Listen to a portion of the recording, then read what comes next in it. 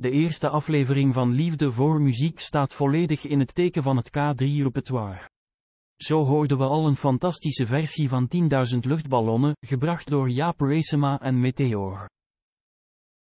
Dat Meteor samen met K3 in het programma zit, lokte meteen veel reacties uit.